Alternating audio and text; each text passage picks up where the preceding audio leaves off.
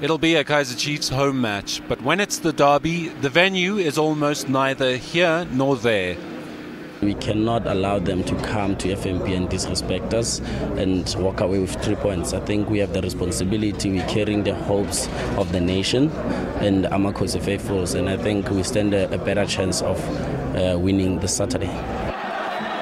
Pirates are knee deep in fixtures, but after their heroics in Tunisia, they're ready to take on all comers. The more you play, the more you get, you get confident. So I believe now we, we have that confidence to, to go through this challenge that we're having now. So in terms of, of fatigue and whatever, it, it helping us in such a way that we keep momentum of winning. And their Champions League success has taken the derby to new heights.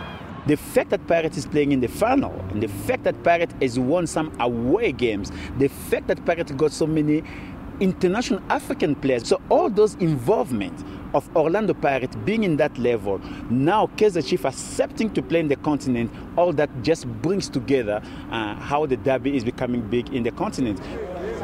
At the Kaizer Chiefs in house store, trade in the precious black and gold jerseys has been brisk. They've actually been uh, wearing the jersey since from Monday, so it's been an excellent week for, for, for, for KC, retail, and the Kaizer Chiefs as, as a whole. Credited as dividing households since 1970, the eternal debate rages on.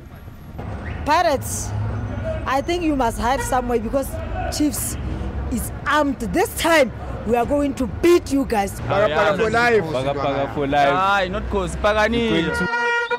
The final whistle will bring closure, if only for a little while. And the victors will celebrate, the losers commiserate, but neither side will back